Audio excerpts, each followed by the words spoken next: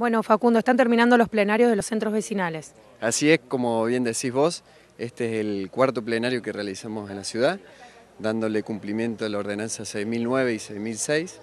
Este, estamos finalizando con estos cuatro plenarios, eh, recorriendo los distintos distritos de la ciudad, este, con una gran convocatoria y sobre todo gran participación de los distintos centros vecinales. Bueno, Rubén, del Centro Vecinal Cucú, ¿qué importancia tiene esto para el centro vecinal? Eh, es importante tanto para el centro vecinal eh, como para mí como vecinalista y, creo que para el, resto de los habitantes de la ciudad en general la participación que se nos da en estos, eh, en estos plenarios porque podemos traer y plantear nuestras inquietudes y realmente somos escuchados y es un arma, para nosotros es un arma muy valiosa.